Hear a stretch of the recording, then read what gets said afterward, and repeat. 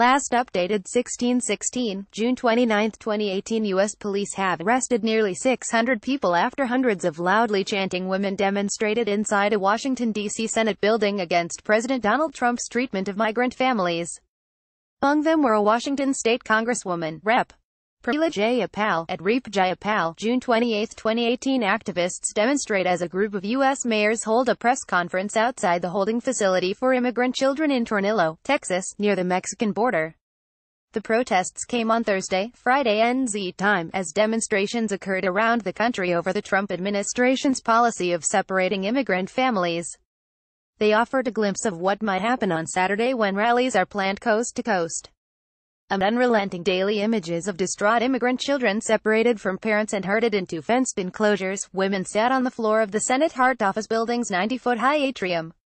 Read more, asterisk Kiwis protest Trump immigration policy asterisk states to sue Trump administration over family separations asterisk Trump reverses course on family separations asterisk U.S. announces it will leave UN Human Rights Council asterisk UN Human Rights Chief, Trump policy, unconscionable asterisk hundreds of children in KJ seated around Alexander Calder's black metallic mountain and clouds sculpture, they shouted slogans and cheered for a handful of fist-pumping lawmakers, all Democrats, who waded into the crowd, what do we want?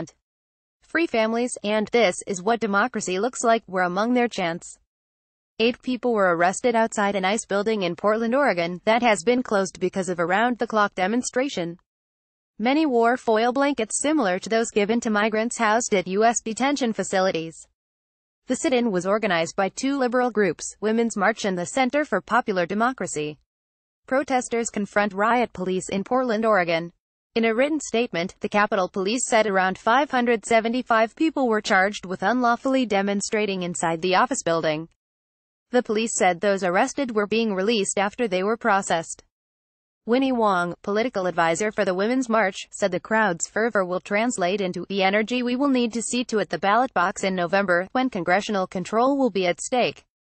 Democratic Representative Pramila Jayapal said she was arrested during the protest. Jayapal, who was born in India, tweeted a video of herself in which she said she was proud to be arrested to protest Trump's zero-tolerance policy.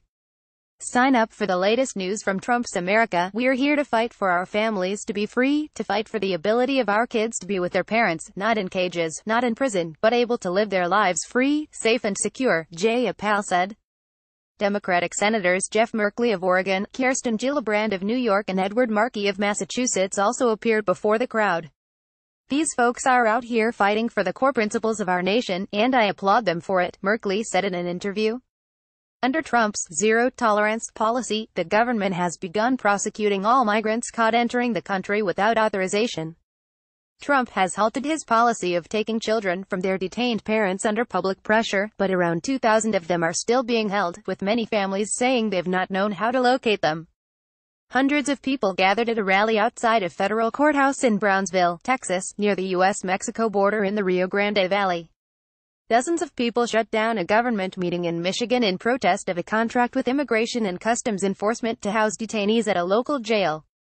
Eight people were arrested outside an ICE building in Portland, Oregon, that has been closed because of a round-the-clock demonstration. AAP